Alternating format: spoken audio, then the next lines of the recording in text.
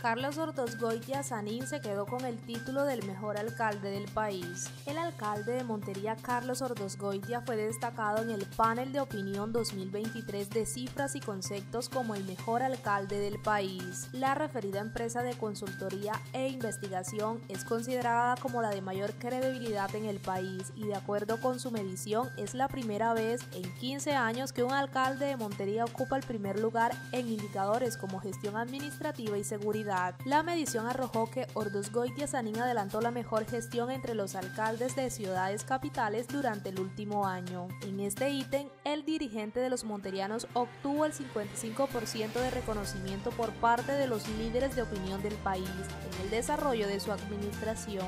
Del mismo modo, la firma de consultoría precisó que el alcalde también fue el de mejor gestión en materia de seguridad, destacando las estrategias que han sido implementadas en la ciudad en beneficio del bienestar e integridad de los monterianos. En este apartado, Montería se ubica por encima de otras ciudades capitales como Popayán, Tunja y Barranquilla.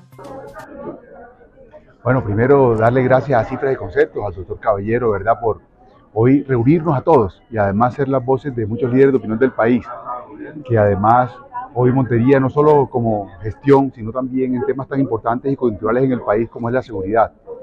Hoy damos una muestra de trabajo en equipo. Por eso le agradezco a Dios y le agradezco a los funcionarios de la alcaldía Montería, a los contratistas. Pero ese trabajo que hacemos de manera decidida por el bienestar ciudadano, por una política social estable que perdure y que lógicamente empiece a saldar deudas históricas que son tan importantes para que la gente esté bien. Son premisas que hemos manejado en el gobierno. No podemos estar bien si todos no estamos bien. Y la esperanza que tiene que tener cada ciudadano para seguir luchando y fortalecer ese tejido social.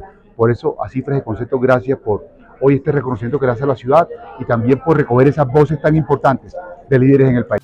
Estas cifras van de la mano con el reconocimiento que ya ostenta la capital cordobesa como la ciudad más segura del Caribe.